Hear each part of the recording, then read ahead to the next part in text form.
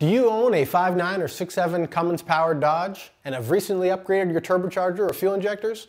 You could use some additional fuel volume and reliability from your lift pump to support the additional power your truck now has. Stick around and I'll tell you all about how to get your diesel optimal fuel flow.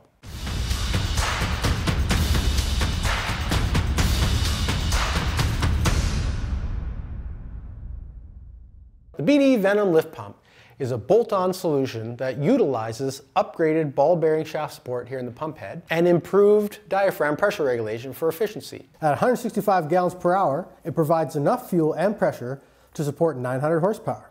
Plenty for a stroker CP3 or a common dual CP3 kit. The BD Venom lift pump features a new and improved robust aluminum mounting bracket with vibration isolators for versatile and easy installation. The pump also features commonly sourced filters, a 3 micron fuel filter and a 20 micron water separator filter. The Kit obviously also includes all the other components needed for a clean and complete install.